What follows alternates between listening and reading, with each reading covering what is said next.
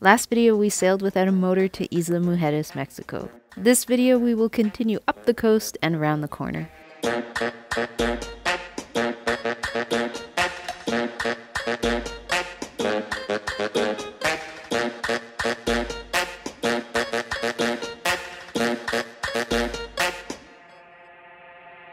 Oh, muy está calor.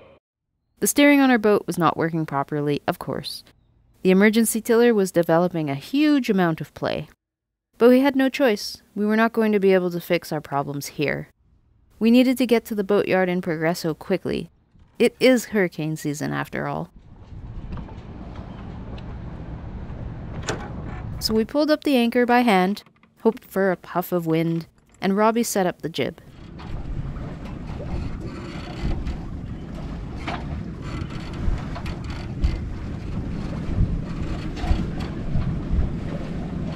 The Isla Mujeres harbor is usually very busy, but it was before 6 a.m., all was calm, and we let Choco take one last free roam around the deck before we hit the open ocean. We definitely felt nervous about not having any stanchions and lifelines in place, and the dog wandering around on the deck.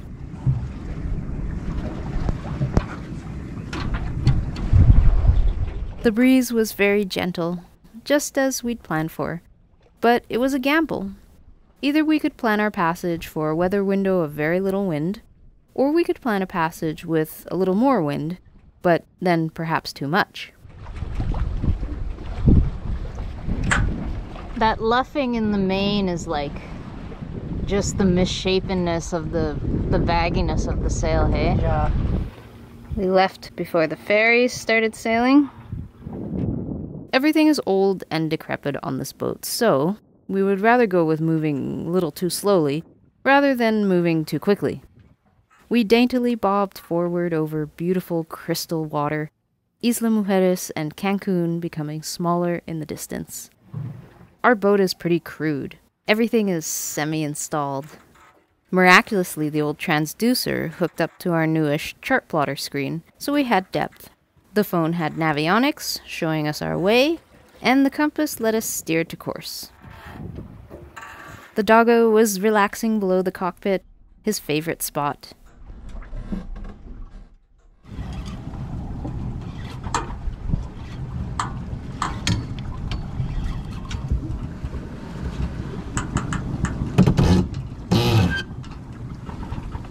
At Isla Contoy, we were getting ready to make our turn northwest.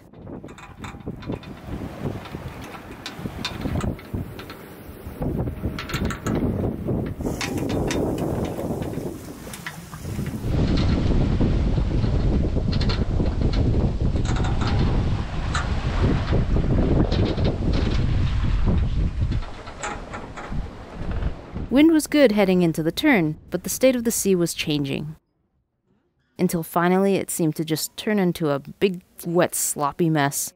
The wind was coming right up our butt, there was less wind than wave, and this was wreaking havoc with our jiggly tiller. Oh, this did come out.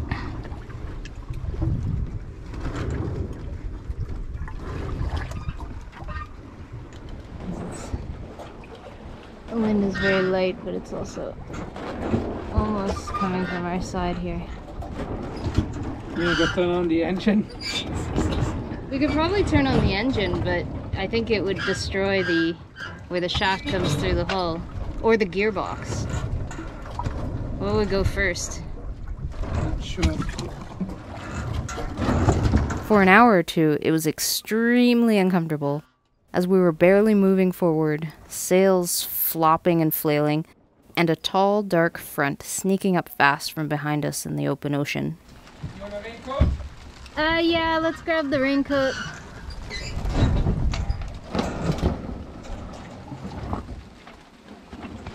Coming in so much. So much.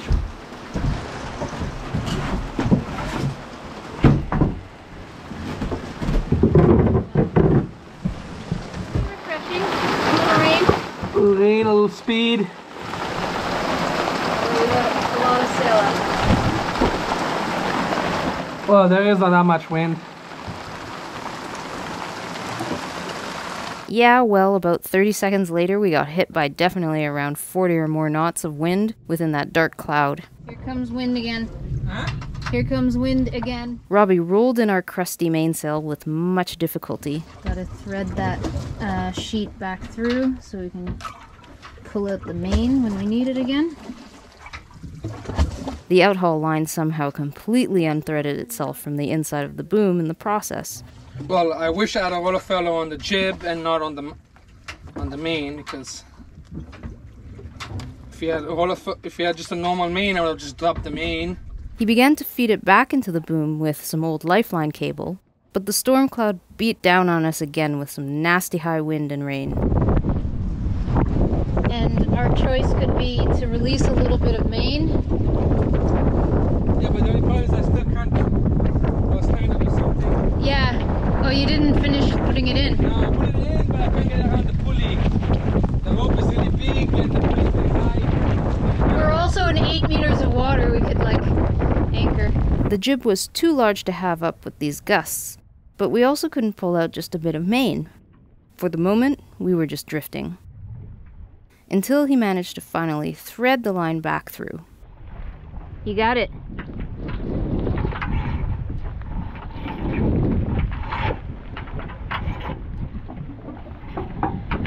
Okay, now we can use the main for a little while.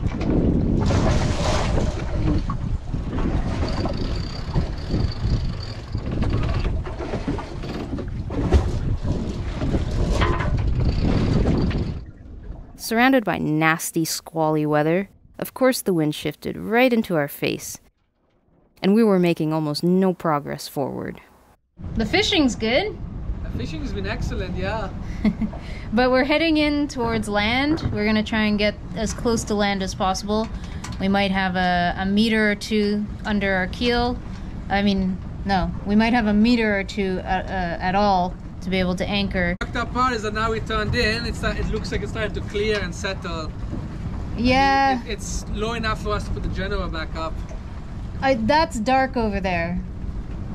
I don't know. That doesn't look clear to me. It's hard to tell because now night yeah, is coming. no regrets. Let's just go get a night of sleep.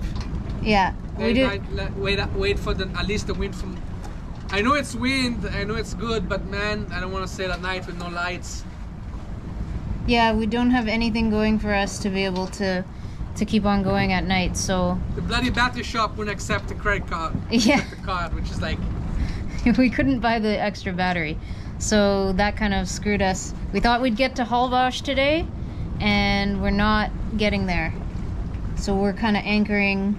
We're gonna try to anchor maybe as close as possible in in almost we're we're like 15 miles off. We're nearing sunset. We haven't really moved. We're looking to get a depth of three meters maybe on the depth sounder, but we haven't gotten there yet. We've just been kind of sitting in place off of the shore before Holbox. Almost time to eat dinner.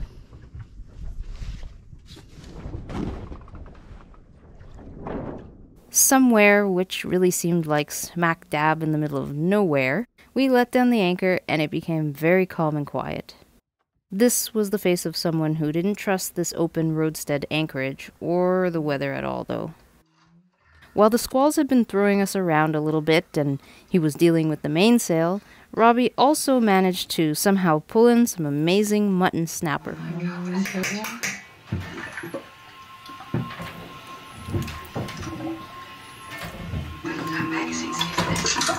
Mm-hmm. With a delicious mystery batter, he dipped the fish into oil, cooked for several minutes, and our simple dinner was crunchy and satisfying after a stressful afternoon.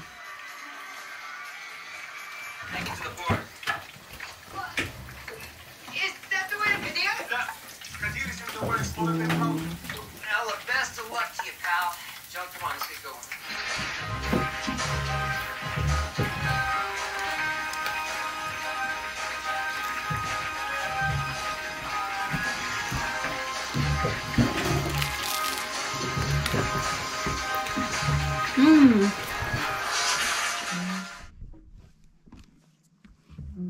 The jib managed to get a little shredded in the winds as well.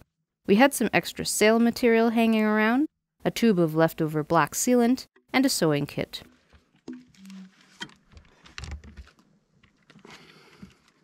Within a couple of minutes, he had the two patches glued on, and it took me about 45 minutes to sew it up. It's important to get even the smallest rips dealt with quickly, because they can grow exponentially, of course. It wasn't the prettiest sail repair, but it needed to be glued and sewn. We couldn't afford to play around with our only form of propulsion. So up came the anchor.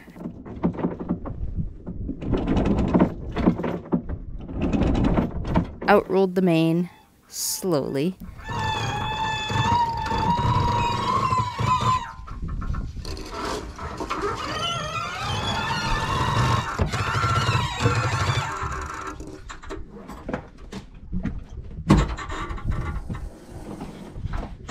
And arose the newly repaired jib. I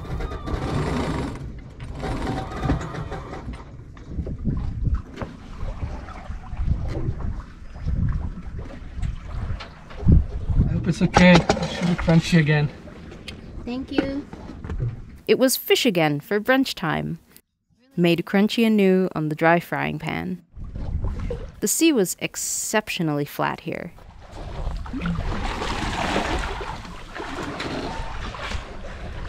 Inez was strolling along at a leisurely pace, and the dolphins seemed to embody that unhurried attitude as well.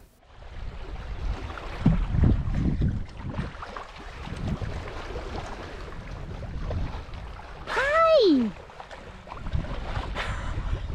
Oh, there's a little baby. But I was watching the skies closely for another sneaky squall. Sure enough, something was forming, but over land this time. I have a cute little baby. I know I see the little baby. There's one, right? Yeah. Robbie, there's dolphins again. What? There's dolphins again. Robbie's like, oh, fucking dolphins. Not even fish. Woo, the big guy. Ah, one did poopy. There were also many bubbling shoals of fish, which I thought at first looked like feeding whale sharks, but we never spotted any fins coming out of the water. I thought I was gonna collapse. I didn't even realize how hot I was until Robbie put up a little bit of shade. We have to sew ourselves a sunshade. It's really simple to integrate it with our solar panels. We were nearing the town of Holbox. We really couldn't see it, though. It was shrouded in a huge, gloomy cloud. This thing has been sitting all over Holbox all day. We're not sure where it's gonna go. What's it, what's it gonna do? We pulled down the jib in anticipation of another 40 knot gustathon.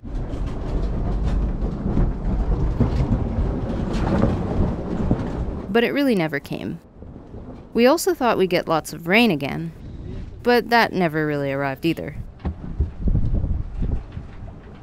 There's definitely something odd about this main. We've noticed now two days in a row we drop the jib, we leave just the main up and getting hit with 20 25 knots of wind from the storm and the main doesn't produce any power. We're going about 1.5 knots, drifting more sideways than we are forward. I don't know what to do about this this main. We thought maybe there was a chance of getting really close to the beach to let Choco onto land for a run, but it becomes shallow here very far from land. 3.8, 3.9, 3.9. Cool. We were still a couple of nautical miles out, and we were seeing three meters already on the depth sounder.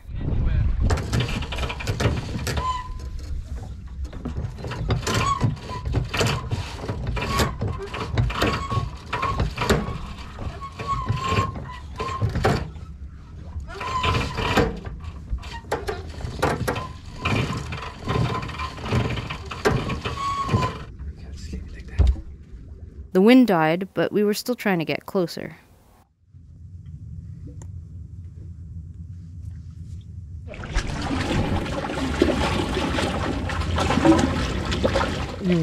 Zero point one knot extra you've made.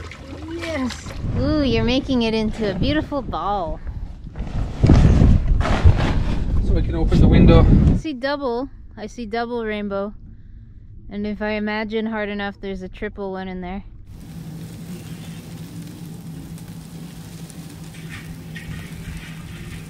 Hardly a lick of wind, but here we are going to try and see if we can move for the morning.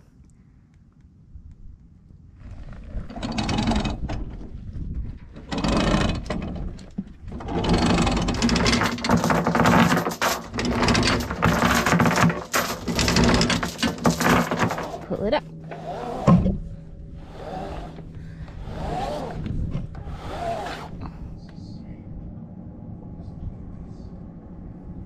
Woohoo! We were really flying away from Holbox at 1.5 knots.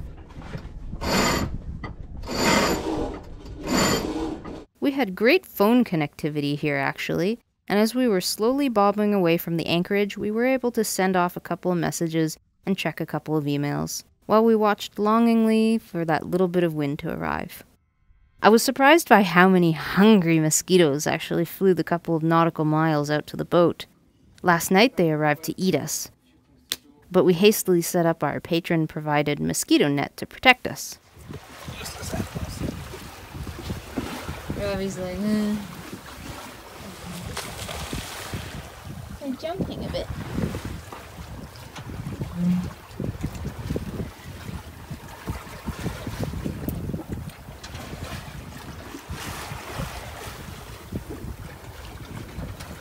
There were many fishermen along this coastline, but only one boat pulled up alongside to say hello. What are they fishing? Grouper, Nero.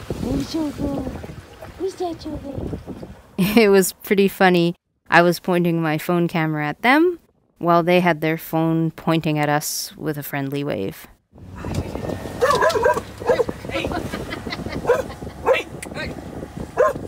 After our mutton snapper on the first day, we weren't catching much of anything else, so time to break out the legumes. About half a cup of dry chickpeas soaked overnight, put into the pressure cooker, and cooked at pressure for about 25 minutes. Ginger, parsley, and salt.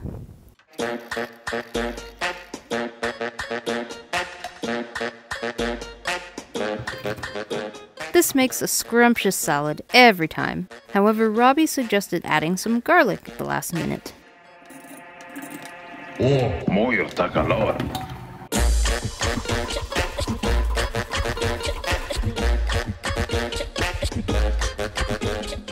With some tortilla chips, we enjoyed a really nice impromptu hummus.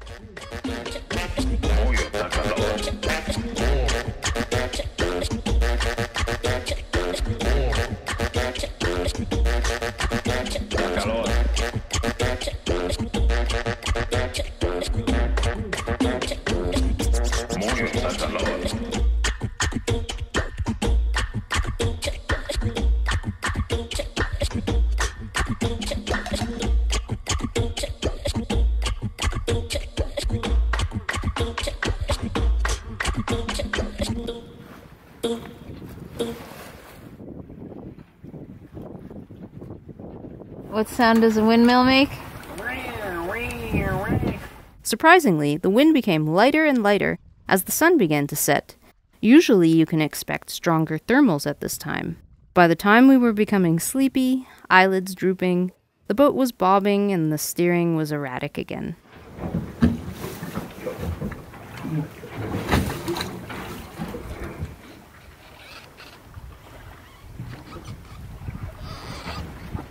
We drifted pretty much most of the night and are drifting now just because of this.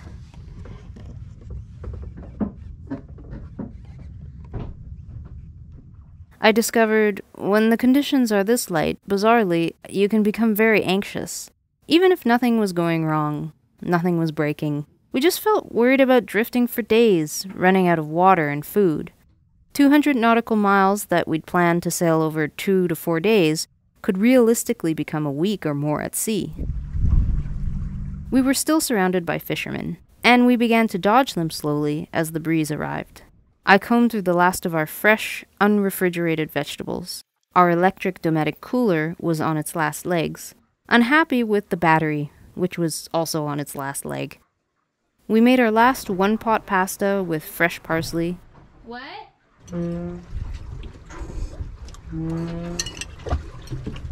Drank the last coolish soda water, and hoped that our scruffy boat would carry us this evening towards Progreso.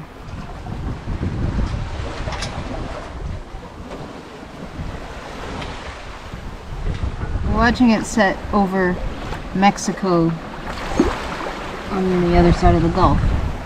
Early in the morning, as the sun was rising, we were really feeling the exhaustion of hand steering over a period of five days now. At last, we could see the shape of Progreso's famous pier jutting out six and a half kilometers into the sea.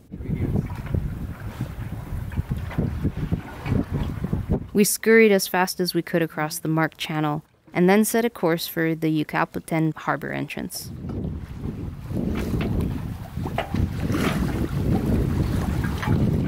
The pier did not seem like a huge hub of activity, but we spotted the famous Cuauhtémoc Mexican Navy vessel docked there. And then a cargo vessel came speeding out of the channel towards us, threatening to plow us down. We gotta, we gotta, we gotta turn behind him. I don't know what the f- he's doing, if he's gonna turn or not. On the fly, on the fly, ahora está pendiente on the fly. You'd have run over us, no problem. Yeah. Danger. They didn't even respond to our radio calls. What an ass.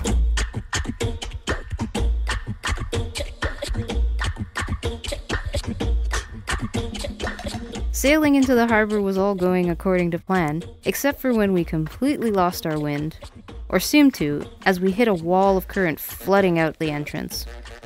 But it was a good thing that we slowed down, I guess. We both almost shit our pants when we realized how utterly low the power cables coming across the entrance looked. We cleared those luckily, and then made one final tack.